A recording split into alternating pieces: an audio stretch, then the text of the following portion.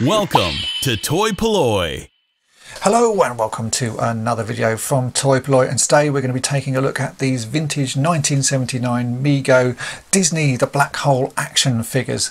Now this was a movie I absolutely loved and one that I think many people remember seeing at the cinema. It came out a few years after Star Wars and I think every child of that era wanted another sci-fi movie and this was Disney's go at having its own sci-fi movie.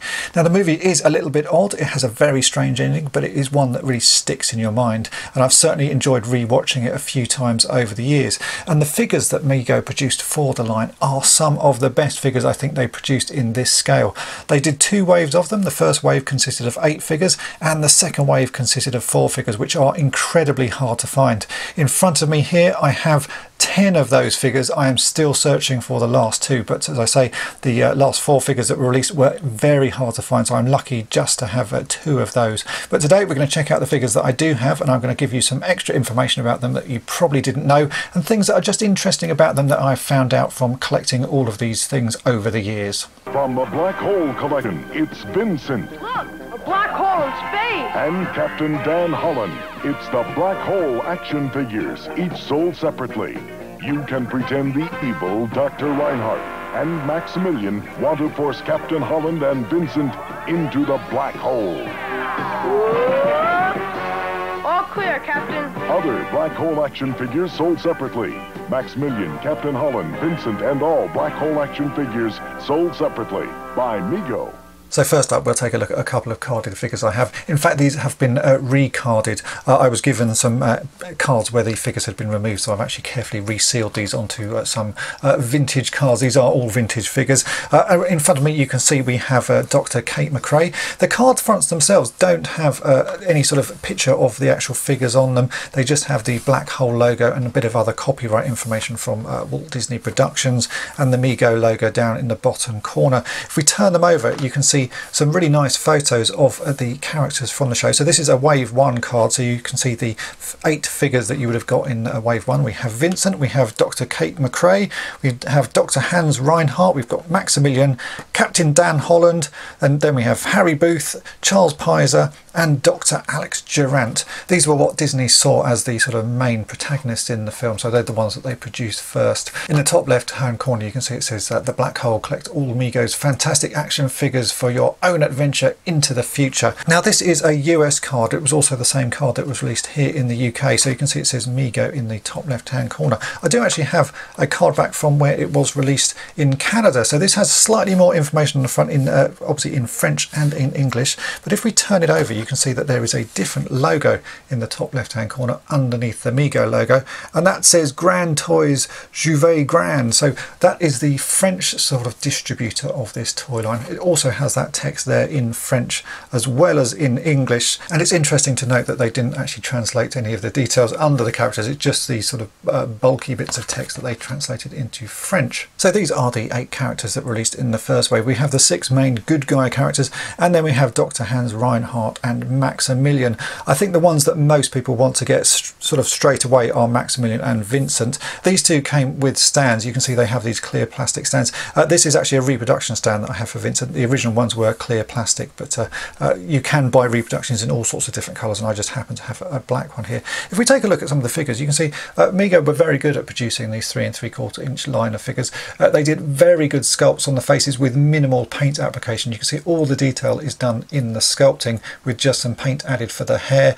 These figures have little bits of paint applied to them all over, so you do tend to get little rubs on them. You can see here the chest logo has worn off, and often with them the thumbs are missing, and I've shown uh, in a, quite a few videos how to repair thumbs on these. That is something that all of these uh, Mego figures at this scale suffer with, much like G.I. Joe's. The thumbs are just a very weak area, and so if you try and put a weapon in that, that hand, it will snap the thumbs off, so uh, you do have to be quite careful with them. None of the figures actually came with any weapons in this first wave. It was only the stands that you got for uh, Maximilian and Vincent. If we take a look at Dr. Hans Reinhardt, this is a very nice likeness of uh, the actor, but one thing you will notice with this figure is how different the paint application can be. You can see this is quite a nice sort of not particularly played with version. I have another one here and you can see how different the paint application is on the head. This one's got very little white paint on it whereas this one has loads all sort of uh, painted quite uh, strongly on the front of it. Uh, it just depends on uh, sort of what person was working in the factory at the time and how sort of uh, rough they were with the brushing. So some you get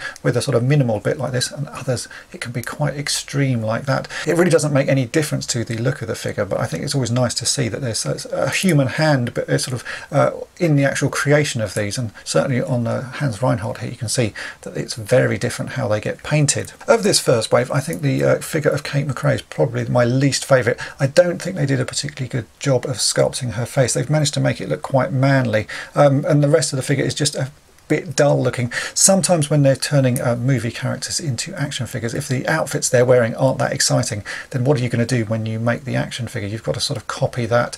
And uh, with this one, I don't think there's a lot going on that makes this uh, figure particularly interesting. Some of the others, again, you know, are a little bit more boring, but I just think the faces sort of make them work. This is uh, Harry Booth, which was played by Ernest Borgnine. The face sculpt is not that uh, accurate to uh, Ernest Borgnine, but it sort of does the job. I just like the detailing of the moustache, and you can again see that they've just sort of sploshed some white paint on there to make his hair look grey.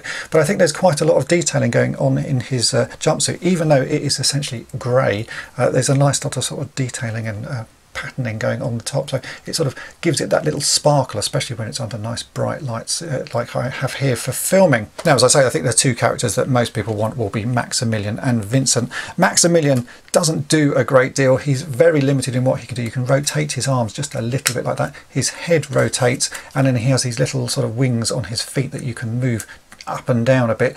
Otherwise, he's a very static character. But if you've seen the movie, I think uh, you would want this figure anyway because he's so evil looking. They have chromed his arms, and it's an interesting thing with the chrome used on his arms. The plastic underneath that they've used varies from figure to figure. It looks like they just used any old plastic, chromed it, and stuck it in a figure. So sometimes you'll get figures that have the same sort of plastic underneath. This one looks to me like there is a sort of burgundy plastic under this arm, and this one looks like it has black plastic under the chrome on this arm. But I have another one where the chrome was actually all worn off. There's nothing left at all on it. And you can see here, he's got one blue arm and one black arm. So I think they probably just used any old bit of plastic they had, chucked it into the mould, whatever came out, then got chucked into the uh, vac form chroming machine, and that was stuck on the figure. So you randomly get different arms on these uh, with different colour plastic underneath it. If it's chromed, you wouldn't necessarily notice, but as the chrome is wearing off after all these years, you get to see what's underneath. And you can end up with some quite interesting sort of colour combinations like the one I have here. Now Vincent I do think is probably the highlight of all of these figures. He is really nicely made. You can see that he's got quite a nice lot of detailing on him and he actually has bits that move. So with these little side arms out you can push his head down, he can hide away. Also the weights on his feet can push inside his body so he's all sort of hidden up and protected for when he's fighting Maximilian. If we pull this head out you can then push these little side arms in as I showed these little legs come out. I just think he's a really nice figure. The only problem you ever seem to find with this figure is the guns that stick out the front do tend to snap off. So often if you find Vincent at a toy fair or in the wild, he will look like this one, so they have snapped off. I did do a video a long time ago showing how to replace these. Uh, there was a guy on eBay selling replacements, and I've seen a few people making reproductions of them over the years, so there are reproductions available. You'll also notice that his nameplate on the front tends to wear off Again, I have a video about how to replace that. So uh, the one on this uh, figure I've actually replaced completely because it was worn away. But he's just a lovely figure. I think this is probably the figure that most children would want to have had from the show just because he's such an iconic character. I really do think that Mego did an excellent job uh, recreating him in this uh, three and three quarter inch scale. It is just one of those amazing figures from the 1970s.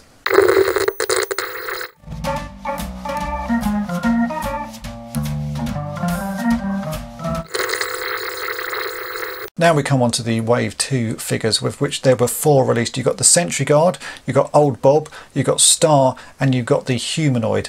Of all of these figures, the Sentry is the one that's easiest to find because that was actually uh, released worldwide. So this purple Sentry robot is very easy to find. I would say as easy as all of the Wave 1 figures. As you can see, it is a nice recreation of the Sentry robot that you see in the movie. Uh, he should come with a little gun that sits in the holster here, but I've never actually been able to find one of the guns. And he's the only figure apart from Star who actually comes with an accessory. So uh, uh, if you find one of those, you are very lucky indeed. I think there are people who do make reproductions, but at the moment I've just got these figures without the uh, gun in the holster there. Uh, now the interesting thing about these Sentry robots is that uh, Mego uh, did a little bit of reuse on them. You can see that they have these nice little hands that are sort of separate from the body and you can actually remove them. And these are taken directly from their own Micronauts line. Now Mego bought up the rights to the Japanese Microman toy line from Takara and decided to make use of some of the bits that were already created for those. So if I bring in a Micronaut Time Traveller and we can put these two hands together, you can see that they are exactly the same hands. We just got them in a different colour plastic. So if you wanted to, you could swap these around um, and easily make a Sentry Guard with little white gloves on. It's just a nice little uh, thing that they do. Sometimes when the companies sort of buy up other lines, uh, they reuse pieces to uh, make the cost of making new action figures a lot cheaper. And in this instance, the Micronaut Time Traveller became the hands of the uh, Black Hole Sentry robot. Another figure that I think a lot of kids would have wanted is Old Bob because he played such a pivotal role in the movie and he was the sidekick to Vincent. And this figure, again, I think Mego have done an absolutely amazing job. This was only released in Canada, which is why it is so incredibly hard to find. And I have to uh, thank uh, Daniel for very kindly sending this to me last year. It was a very kind donation and something I really can't believe I've uh, actually got in my collection. He's not quite quite as sort of uh, posable and movable as Vincent is, because he's damaged and he's supposed to look damaged, uh, you can't move his head in and out, but you can move these little arms from the side in and out, and also his uh, little sort of weights do go in and out as well, much like Vincent's do.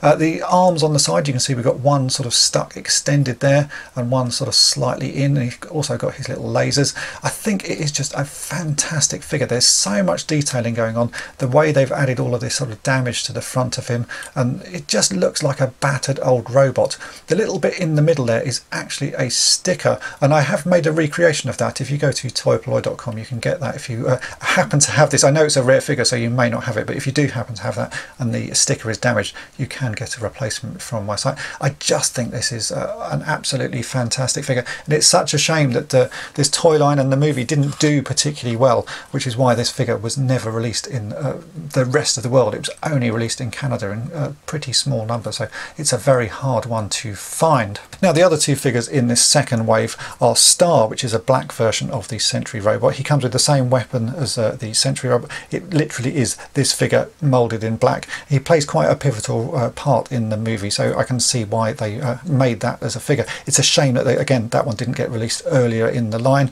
And the probably the hardest one to get of all is the humanoid, which is um, a sort of silver-faced uh, robot. Where you know, if you watch the movie, spoilers, I have to tell you, they are actually humans, but he comes with a fabric cape.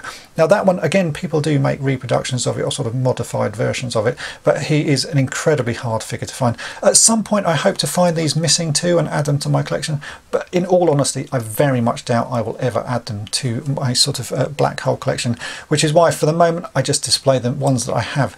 I think they are fantastic figures and they really do portray the characters that you see in the movie in a really nice way. They are such detailed figures and so well sculpted.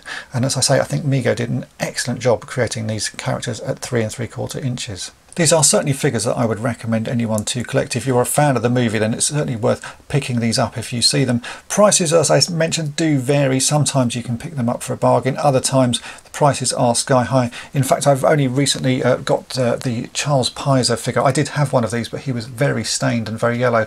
And I think I picked him up for about £10 on eBay. So you can get them if you sort of wait around. And sometimes they will sort of appear at uh, pretty good prices. Figures like Vincent, though, I think uh, he will always be a popular one. So prices will always be a little bit higher for him.